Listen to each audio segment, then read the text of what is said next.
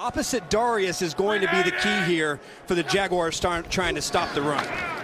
On second and 12, Luck putting some air under it, has his man. It's Ebron wide open, stumbles.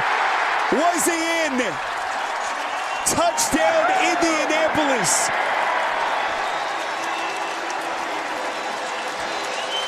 Well, this was close.